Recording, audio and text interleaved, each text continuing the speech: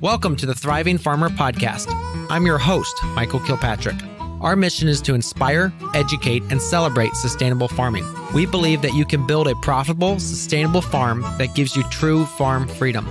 Join us as we talk to farmers, innovators, educators, and entrepreneurs to glean their top takeaways in business and life. Hey, thriving farmers. This episode is with Adam Turtle. Now, Adam is a self described beatnik, and I would add to that scholar and researcher who has spent much of his life researching a lot of rare plants in the US that can be used for regenerative purposes, but much of his time and effort has been spent around bamboo. And so that's where we spend a lot of this episode is discussing bamboo. And we talk everything from the research farm he operates and the over 300 varieties of bamboo he's worked with. We talk about his thoughts about building soil. We talk about his philosophy on life talk about how he got started with actually the nursery. They didn't start out to have the nursery and they ended up developing their niche, which was providing large, high quality bamboo clumps to a lot of the zoos all over the US is how they got started and then it's moved into more of plantings and other areas and they're at the farmers market so they sell through the farmers market they do do some mail order as well so you can check out their website but it was a fascinating episode. And, and, even if you're not interested in bamboo, I highly encourage you listen to the episode because not only do we talk about bamboo, but we go into what Adam, over his 80 years of being involved in the regenerative agriculture movement, has learned. And a lot of the wisdom that comes from him is not just about bamboo and not just about growing, but just about life in general. Again, being around for um, the number of years he has, has a lot to share and I felt privileged to listen to him for about an hour. And uh, he a couple times wanted me to make sure I send a CD to him of this talk so that he can go ahead and listen to it. Um, and the first time I called him up to ask him to do the podcast, he was like, I was like, hey, you know, Adam, you want to do a podcast? I talked to his wife, and I got him on the phone. And he was like, uh, first, Michael, you're going to have to tell me what a podcast is. So yeah, Adam's a, a, a, lot of fun, and um, I know you're going to enjoy this episode with him. So please help me in welcoming Adam to the podcast. Hey, Adam, how are you doing? Oh, I'm falling apart. How are you? I'm doing well. I appreciate you being willing to come on. Well, if it helps spread the word and inform people and make stewards out of consumers, I'm for it. That's awesome. All right. So why don't you just um, start by giving us a little bit of a background about who you are and um, and what you do? 80 years in five minutes? Yes. oh, where to start? Um, born in Arizona to a military family uh, before the war. Tried to pay attention and learn as we went. Have lived all over the world. Um, started school in, in Japan. Uh, my father was part of MacArthur's government. Uh, lived all over this country and, and several others. Was a cowboy for quite a while, commercial fisherman. Jack London was one of my idols. He okay. and Jack Kerouac and my uncle Jack, my mother's uh, elder brother. So the three Jacks is what got me through.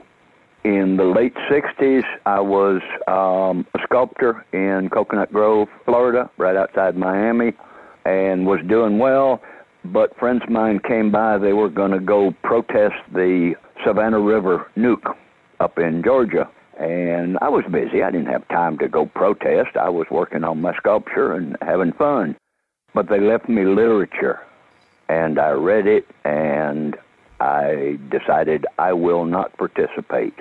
So three months later, I liquidated everything, unplugged, walked away. Uh, had a little country place up in North Florida on the Swanee River. Tried to start a commune there. Timing, I guess. Uh, lot, lots of yuppies that that wanted to go play hippie. I wasn't a hippie. I was a, a beatnik. I'm too old to be a hippie. So that didn't quite fly. And my former wife and her lawyer decided it was worth way too much money for me to keep. So they pulled the rug out from under us, and I was all set to emigrate to Argentina had found a big piece of land, 15,000 hectares in the mountains near Bariloche for 12,000 American dollars, which I had. Mm. and I came to Tennessee to say goodbye to an old buddy of mine and fell in love with Tennessee and decided, no, I should grow where I'm planted. Mm. So uh, I've been here since uh, 74 and joined a commune which kind of faltered and ended up with an absentee board of directors, and I couldn't really participate in that. So that didn't work. Uh, started with permaculture in either 80 or 81, I don't recall. The second course offered in the U.S. with Bill Mollison and Andrew Jeeves. Mm-hmm. And it sort of organized all the stuff I'd been working on, gave me a philosophical framework, which is really useful. And of course, he coined the term think globally, act locally. Mm-hmm. And that that is really the guiding principle to turning this mess around. So I've been been working on that, how to implement it, because his vision was tropical, Mm-hmm. and Tennessee is not. Mm. So ha- had a lot uh, of details to work out. So I came up with the concept of Earth Advocates uh, Research Facility, and have been doing that now since uh, '81, I guess. Along the way, I saw uh, bamboo growing in Nashville, Mm-hmm. and I had been partly raised both in Japan and later Savannah, Georgia, and was somewhat familiar with bamboo. And from my ethnobotanical reading, I knew it was the most useful group of plants on Earth. Mm. Uh, I mean, the Chinese created a culture right after the Stone Age. They went into a bamboo age. Made a whole lot of sense. And if you've read Farmers of 40 Centuries, King's book written in 1910, you know the Chinese are the only culture that farmed the same land for 4,000 years without wrecking it. Mm-hmm. Of course, that was 100 years ago. Who knows now?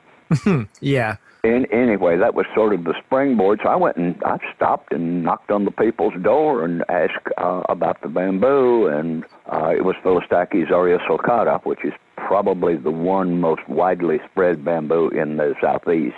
Uh, the USDA used to spread it uh, in the 30s to farmers to uh, help them. So anyway, I got one, took it back, killed it by planting it in a swamp because I knew bamboo loved water. Well, it likes water. It requires drainage. Aha. Yes. And so I killed my first one in 79, but I kept going um, and started uh, accumulating more to try. I realized that not a whole lot was known in the West uh, about bamboo. So I spent 30 plus years studying it. Uh, I have participated in four books, including one with Chinese colleagues on temperate bamboo, which is uh, my specialty. Mm-hmm. We built a collection of a little over 300 uh, species and cultivars while proving about 50 more that potentially were satisfactory weren't in reality. Mm. Uh, oddly enough, a lot of them could handle our winters, but couldn't handle our summers. Oh, Mountain type. interesting. Yeah, they can take 10, 20 below, but they can't take 75 degree nights, Ah. which we can have. Mm-hmm. And that doesn't appear in any of the literature, um, unless I've mis- mentioned it in one of the, the books that, that I messed with. So anyway, we have bamboo from knee-high ground covers up to potentially 60, 70 feet. Wow. Uh, the largest we've so far been able to raise in Middle Tennessee is Phyllostachys uh, vivax, which can reach five inch or better diameter. Unfortunately, it has a thin wall, so it's not good for, for construction. There's lots and lots and lots of other uses. Everything from uh, canteens to cups to using it like an olla, the, the Mexican um, ceramic jug that's buried in the ground to slow release water to the roots. Bury a section of bamboo and flood it. Same principle, and it will biodegrade over time. We, we do that with oh winter squash and, and things of that sort.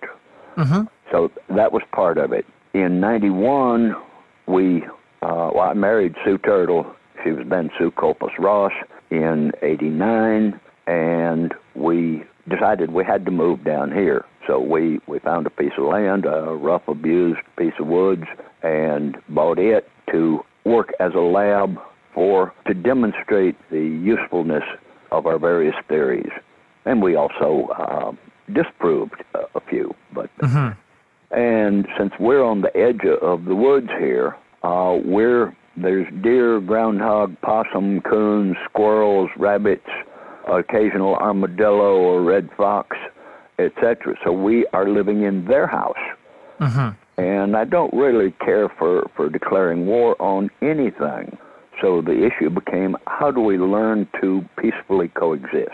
Mm. We learned what goes inside the fence and what goes outside the fence, Okay. which is crucial.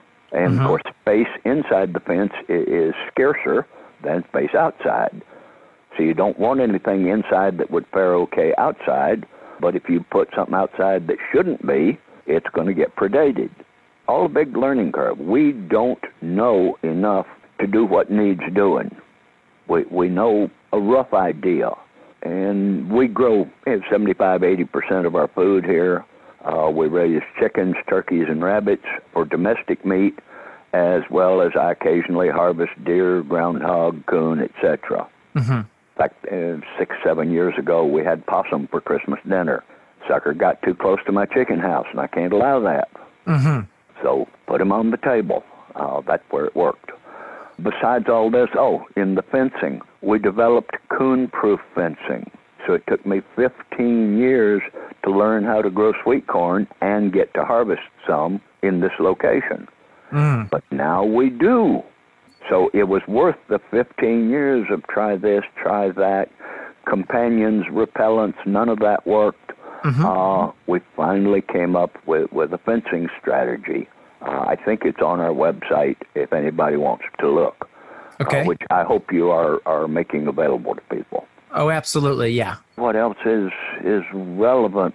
I'm an ethnobotanist, so we're constantly reading what might work Mm-hmm. and we'll acquire it and try it. If it succeeds in one location, then we'll start experimenting with it and find out what its parameters of performance are. Mm-hmm. What will it tolerate? To me, efficiency is not person hours, but land use. They're not making any more land. Mm. And when we consider we have unemployment, that means we're not using the person hours very well. Yeah. We should have full employment across the board all the time. Mm-hmm. Uh, what village would choose to have ignorant or sick or poverty stricken people? Yeah. None. And, and in traditional village culture, there's no such thing as poverty. Nobody has much money, but it's okay. And if anybody is sick, everybody else stops to give them a hand.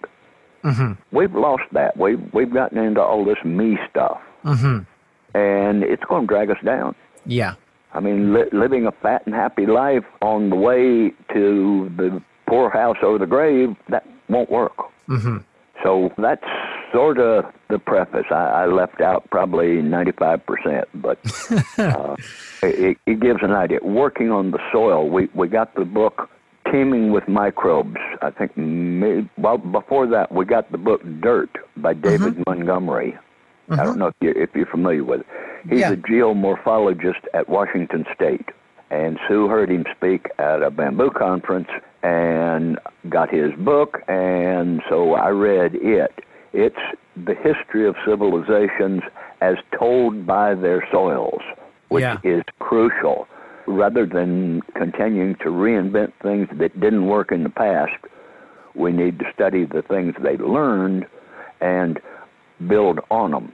Mm-hmm. So that that was that was the beginning of, of that phase of things, and then the book "Teeming with Microbes" (TEAM) by Lewis and Llewellyn came out, and it's the definitive study on the the subsoil uh, community, what we now consider our micro livestock, Yeah. and we all depend on them. They are the farmers.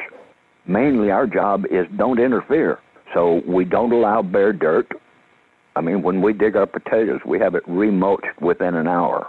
Everything is mulched, wintertime cover cropped and green manured. And we started with rocky red clay. My dirt now looks like chocolate cake, Mm. German chocolate cake. Mm. That's Big even better. spaces, absolutely black, uh, crumbly, sweet smelling. It's working. Mm-hmm. Consequently, as an example, ginger and turmeric are two of our cash crops. Okay. My turmeric reaches over six feet tall. The literature says gets to three feet. Wow. Ginger, they say to expect about a one pound return from each ounce of investment in seed pieces. Mm-hmm. You do it kind of like potatoes. I had one hand last year that went five and a half pounds.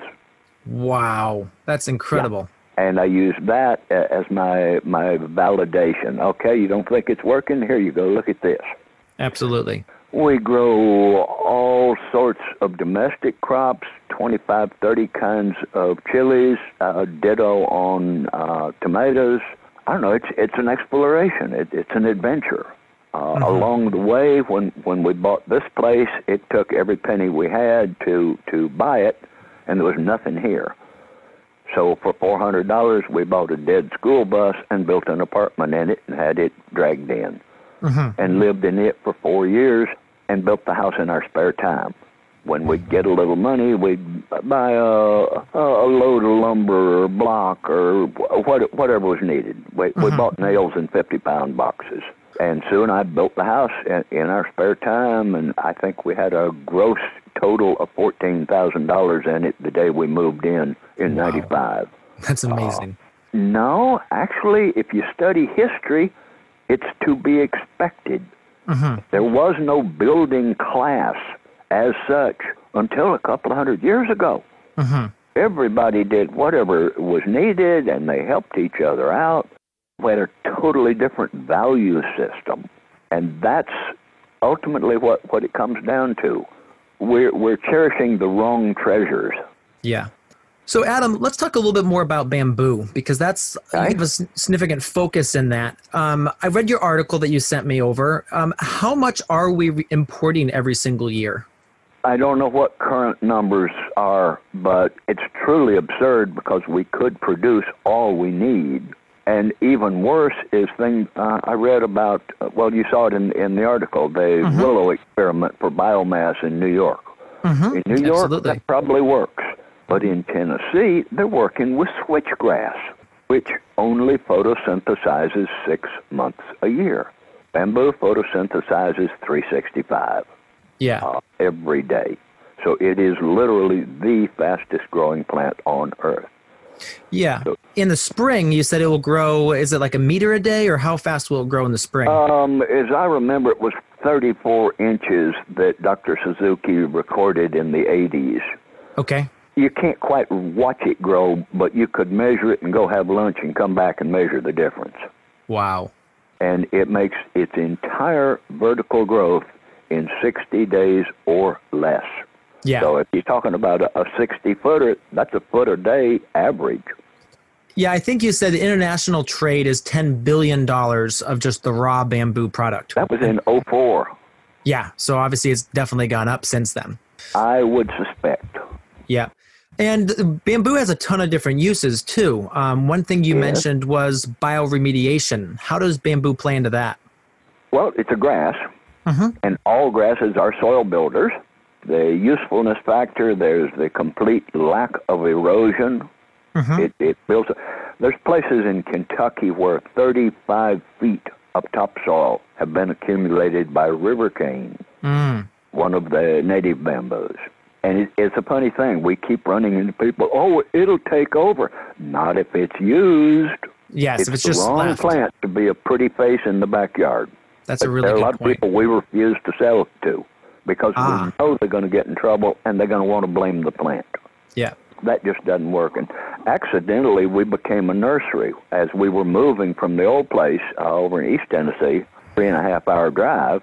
We brought over a three year period 47 truckloads of plants Okay. down here. And as we're moving, oh, hey, would you sell one of those? Would you sell one of those? We made about $10,000 during the move selling plants we, we could spare. I mean, we, we brought Mhm. enough to get started on various things. But we said, oh, maybe there's a need.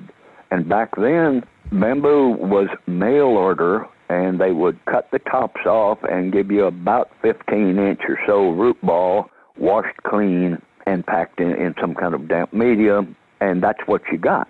And we got the idea in our moving things around.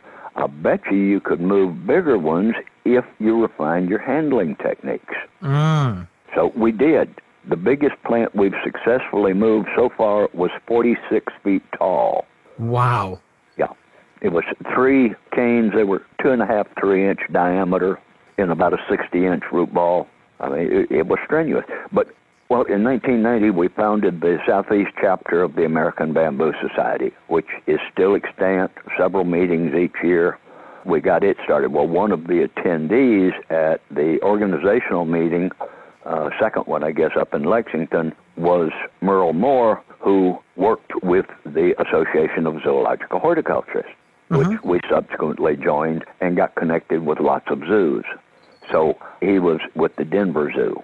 And in a discussion, they said they had tried bamboo, but it always failed. Well, they'd been stuck with the mail order stuff, hmm which means you get a little bitty piece, which it, it's not ready to leave its mama we theorized that we could give you 12 to 15 footers with the tops ready to go in a timely fashion. I think it was in March we, we delivered it.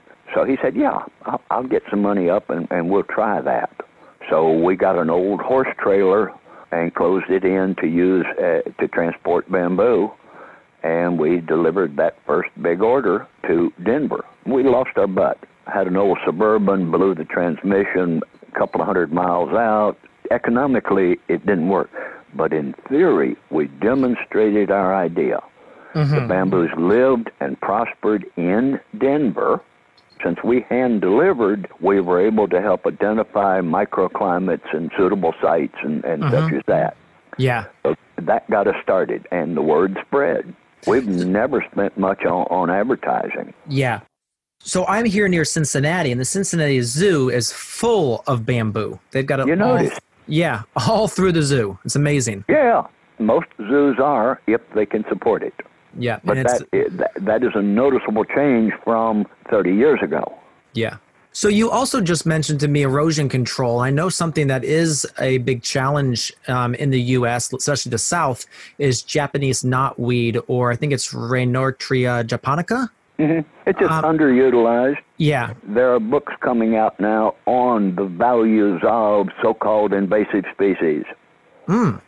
so I just need to be looking for that book. Uh, that I've run across several several titles.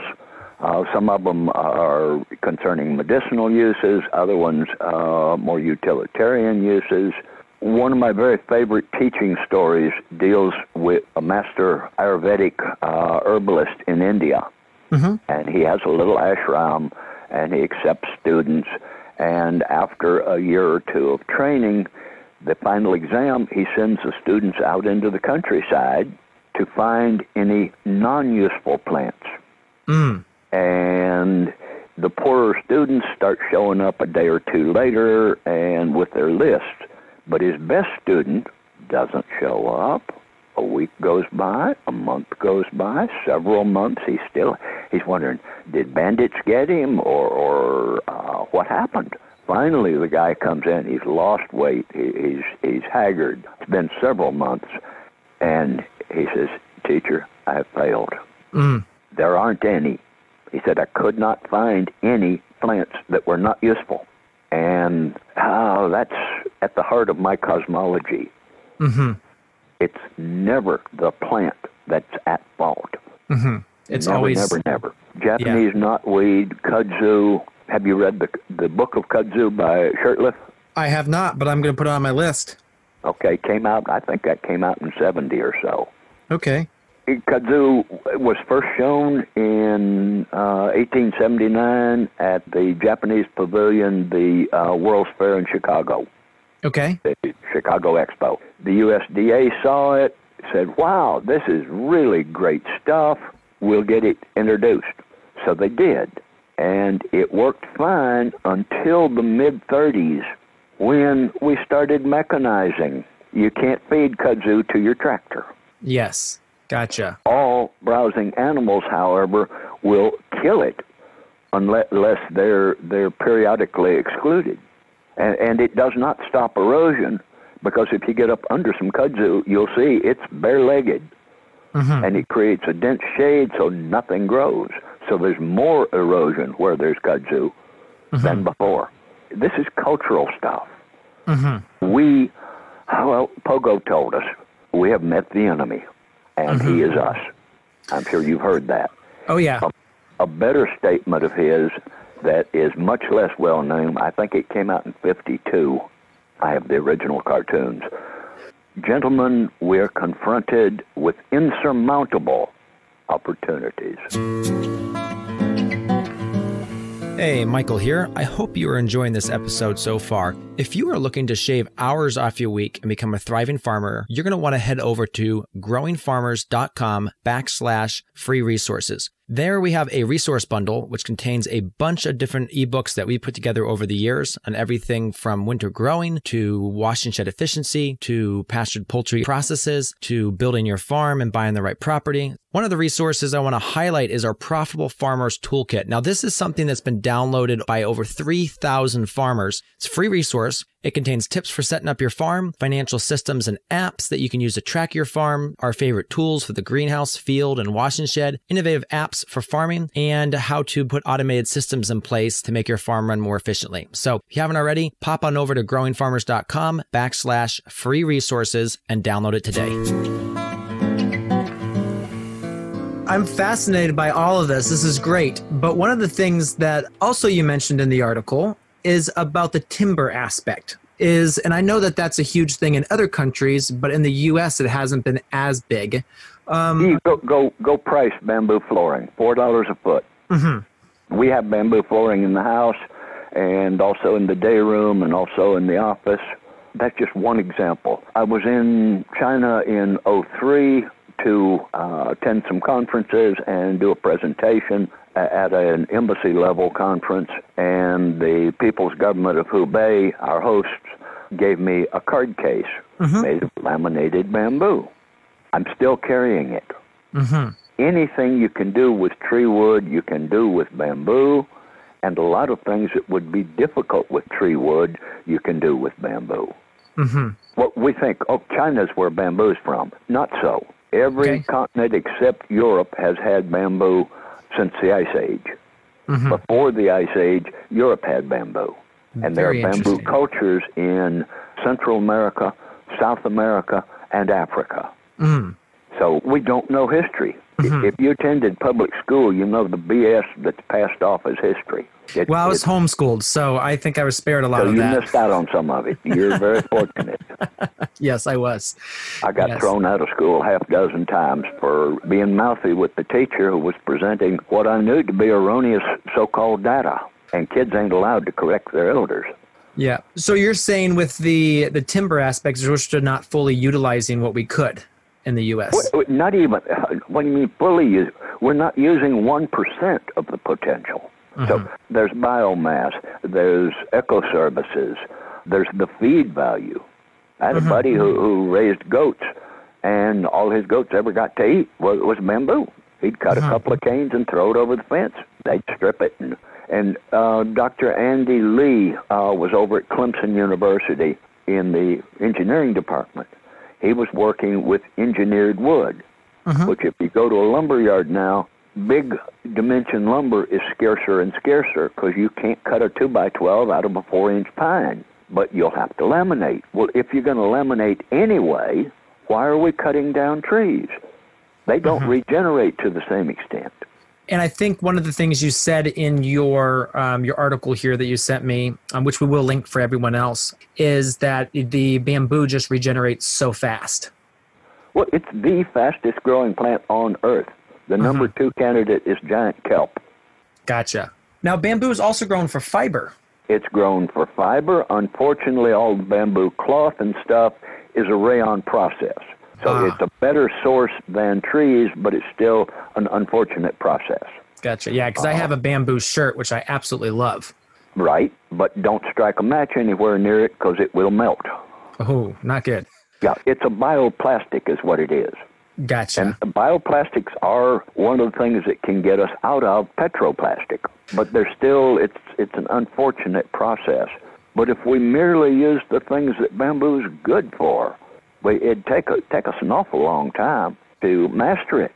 Yeah. Because you can also eat it. There's shoot production on the bamboo as well. They're, correct? as human food, very similar to hearts of palm, but you don't have to cut down a palm tree. Can be used fresh, salted, canned, or dried. And is there a specific species that you like for shoot production? It, well, it depends in, in part on what will grow in your area. Mm-hmm. Well, all of them are edible. Okay. Any that are bitter tasting because they're being harvested in a warm period, and that is cyanic acid, which is driven off by heat. Okay. So if you cook them, the cyanide goes away. Okay. Yep. So that that's not really an issue. Most of the tropical bamboos are bitter, but it's the tropics. So timing it can be really important flavor. I tell people, taste it. If you like it, eat some more. If it's a little too bitter, blanch it and taste it again. Mm. We need to develop appropriate attitudes and technology for regenerative living. Mm-hmm. For some reason, refuse to court the ecosystem and see what it will yield willingly and sustainably. Instead, we prefer to, to be heavy handed and just take what we want and to heck with the rest of the consequences. Mm-hmm. But the consequences are cumulative. Yeah. And that's why right now we're starting to see such big changes and such big problems is because we have been accumulating these consequences for so long. Yes, it's hard to ignore the elephant under the rug. But I'm afraid what we're doing is mostly lip service and, and cosmetic feel good stuff. Mm-hmm. Oh, Yeah. I, re- I recycle my beer cans. Well, hey, you're supposed to do that. You don't get points for it. Yeah. But if we don't change our, our value structure and, and our way of seeing the world, we're going to keep on doing like we're doing. Yeah. I ask people when, when I give presentations, has anybody here been on Vision Quest? Essentially, what it is is a period of ease, social and immediately rewarding stimuli so as to create a deep calm which allows one to see essentially inside oneself. Mm-hmm. Um, Self introspection. Yeah, but beyond that, finding the place where the universe and I are one, Mm-hmm. becoming a co participant. And there's a new interpretation of Christian scripture. I just read, uh, I don't know, less than three months ago. The passage that used to read, Repent, for the kingdom of God is at hand, Mm-hmm. has been reinterpreted and I think is probably the original. It should read, Awaken, for the kingdom of God is at hand. Mm-hmm. Not pie in the sky someday, not get your butt to heaven, but awaken to the joys and the beauty and the opportunities we are confronted with. Absolutely. Without an attitude change, I don't see how that's possible. You're right. So we, we highly recommend to people that they, they consider Vision Quest. Mm-hmm. Uh, well, how do we solve a couple of thousand years of problems uh, in an hour's discussion? you can't. You can't. But let's uh, move that direction. Like so. Okay. some practical things that people can be planting bamboo for. I mean, we've talked about the remediation, but let's say they have a farm, they have a couple acres. How can they start integrating bamboo into their farm for for useful circumstances? And I actually talked to your neighbor Cliff. Um, Yep, how he's yep. using bamboo. Um, he's got a number of varieties over there. But why don't Yeah, you he, share? he got yeah. them mostly from us, and he, he's a former student of mine in one of the permaculture courses. yeah, very cool. So yeah, share with us kind of what practical things people can do with bamboo on their farm. If you're going to keep animals, you're going to need fencing. Uh-huh. Well, in East Tennessee, we used to say people that own a car go to town when they break a shoelace. Okay. And it's more or less true. But if we're going to truly live here, if we're going to inhabit the place in, in the bioregional sense, we need to make do as much as possible with what we got. Uh-huh. So if you've got bamboo, all of a sudden you have a bunch of options. Uh-huh. You can grow your own piping. Uh-huh. 2,000 years ago, the Chinese were using bamboo piping to bring fresh air down into mile deep salt mines. Uh, in Africa, remote villages are using bamboo. Bear in mind, bamboo, uh, East Africa does have a bamboo culture. Okay. They were using bamboo to bring water from way distant. Mm-hmm. As a kid, I used a bamboo blowgun Mm-hmm. as a hunting tool. In thick brush, uh, you, you don't have room to swing something. You need, need a, a different implement. Fencing, fodder for animals, Mhm. All browsing animals like it. Bamboo can be up to 22% protein, Wow. which is pretty good. Yep. Identifying species, you need to know your climatic parameters and then look at the species performances, what gets to the size needed and has the qualities you require. hmm As I mentioned, the vivax has a thin wall. On the other hand, Phyllostachys nigra henon has a relatively thick wall and is, by the way, hardy to five below zero Fahrenheit. Yeah. So that that's a plus. So identifying the, the bamboos that do what you need. Some of the really precocious bamboos, uh, Phyllostachys bissetii, for instance, shoots so early that in years when we, we get a false spring, what, what they call a late frost, Mhm. I've seen 10 foot canes lay down and rot from a frost. But the genus Phyllostachys has the characteristic of having a backup plan. If the first shooting gets blasted, there's a second shooting about a month later. Oh, interesting. If the first one does not get blasted, the second shooting will frequently abort by the time they're about knee high. They just turn yellow and quit growing and fall over. Gotcha. It's backup. In years where we do have early frost, none of the late ones flunk. Now you can also use this as like a windbreak, right? Well, yes, but any evergreen is going to serve as a windbreak. Uh, Mhm. Yes, bamboo can work as a windbreak. It's also a noise barrier. It makes a white noise, a Mhm. susurration, and building the soil is one of its best. But people who are not going to use bamboo should not be in charge of it. Sorry, I, after years and years of watching people try to blame the plant, I, I just I had enough. Yeah. No, absolutely. So you can use this too as kind of like a um, a hedge too. Now there's and there's a difference between the creeping and the non-creeping, correct? And no, no, no, no, that's a popular misnomer. Oh ho ho! I'm glad I asked Uh, it. I use the terms determinate and indeterminate, which actually describes the pa the performance. Okay. And I've only identified one so-called clumper, a determinate species, that can handle Middle Tennessee. That's Fargesia rufa. It can take 10 below zero. It can take 110 in the sun. Okay. But the other Fargesias are sensitive to the warm nights, so they, they don't perform here. So you're left with so-called runners or runners. hmm And they're indeterminate because a bud comes off of the mother, becomes rhizome, and travels a distance. Along that rhizome periodically are additional buds, hmm some of which will go up and become canes, some of which will branch and become more rhizome, some of which will never do anything. They're back up. Okay. Bamboo as a social model is worth studying. It's cooperative. There's virtually no waste. Mhm. Actually, in a sense, you could say waste was invented by white folks. That's a good one. By, by, by the, essentially, the, the Roman culture Mhm. introduced the, the concept. All right, so we've talked through all the different uses of it. Now, are, is there? Well, not we've a few of the different uses of it. You forgot paper making. Oh yes, paper making. You also talked about that the fiber in your article. Yep, the Chinese were making paper about the same time the Egyptians were. And papyrus doesn't grow in Beijing. Okay, so that's what the bamboo is used for. One of the things. Yeah. So then, for like the fibers, is that where they do they beat the bamboo? How do they create the paper out of it? They talk to a paper maker. It's there, it's available, it, it works. Mm-hmm. And actually, for the broadest possible spectrum, it's a little bit dated, but my friend David Farrelly wrote a book in, I think, 84 called The Book of Bamboo. Mm-hmm. And I've seen it on the remaindered table at 2 and $3 per copy. I've also seen it on the rare book table at 30 and $40 a copy. Gotcha. But anybody who can track it down, it's the best broad introduction, even though some of the nomenclature is a little bit dated. But I, I would I would recommend it if anybody wants to get super serious.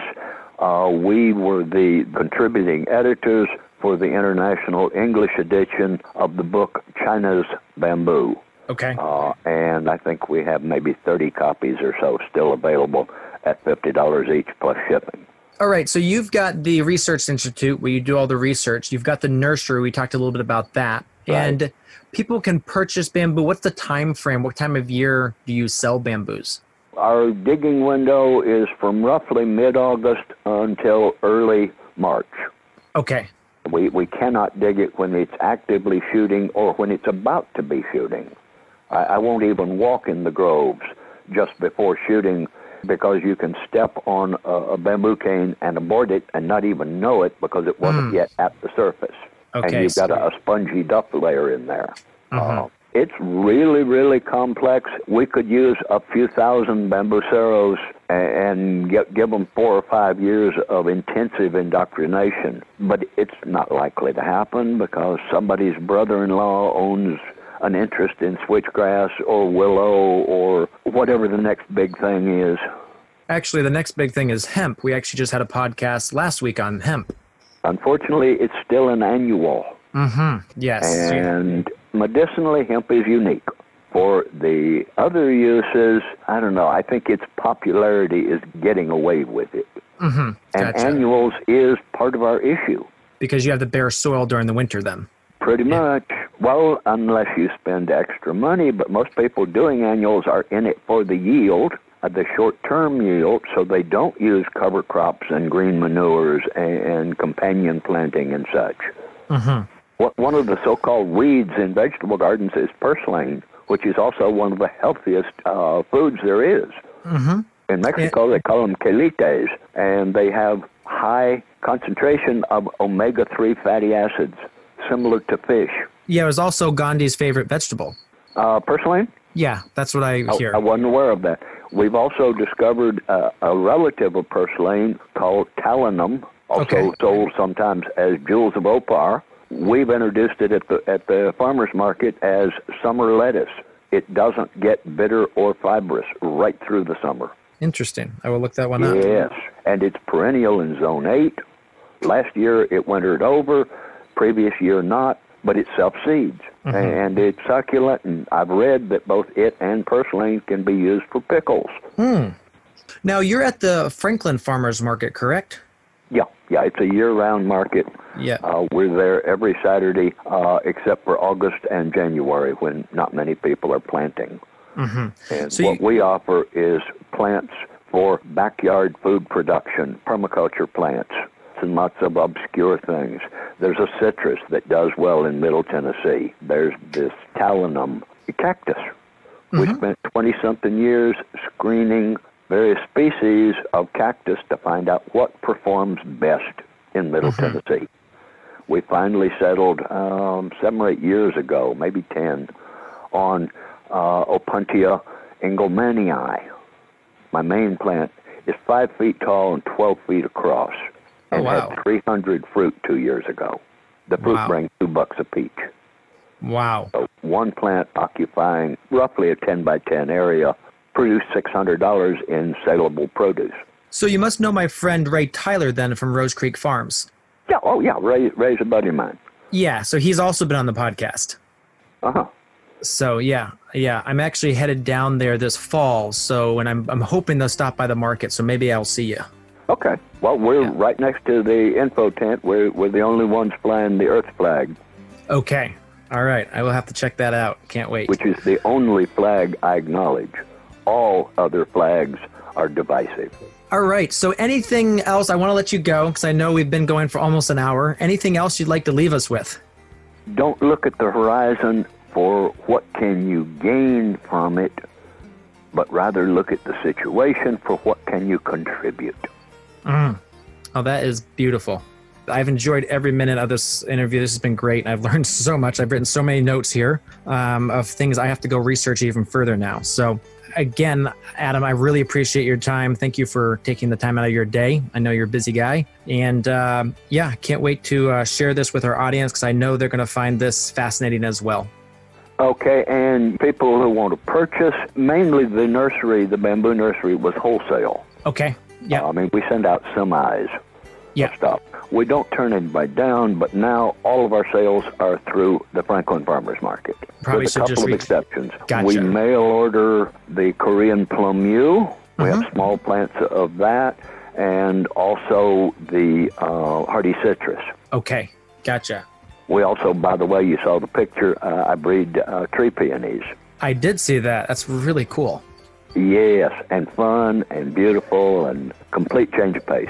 Yes. Yeah. We got to mix it up somehow. yep. Yeah. I don't know how you keep up with it all, but it's very cool. I I don't. I let it sort of filter itself. Okay. There's an old saying that a person's reach should exceed their grasp. Mm-hmm. So always be you know, a little further than you think you can. Mm-hmm. And cool. it'll sort of self out according to the hierarchy of your values. What what is most important to you will get attention before what is less important. Mm-hmm. Right now, I'm studying up on cranberries. We started messing with them last year. I believe they can be grown here, probably not commercially.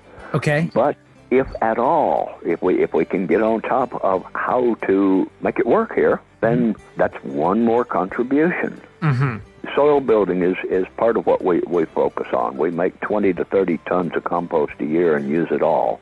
So that, that's part of it. Bill Mollison said, life is one fat foot in front of the other. That's how we live. Absolutely. Well, Adam, again, thank you so much. Appreciate your time. And uh, yeah, again, can't wait to share this with the audience. They're going to love it. Well, till next time. All right. Thanks so much, Adam. So there you have it, another episode in the books. So I'd love if you would hop on over to iTunes and leave us a rating and a review. Those mean everything to us. We love to hear what you're thinking. If you have a podcast guest that you can recommend, please pop on over to the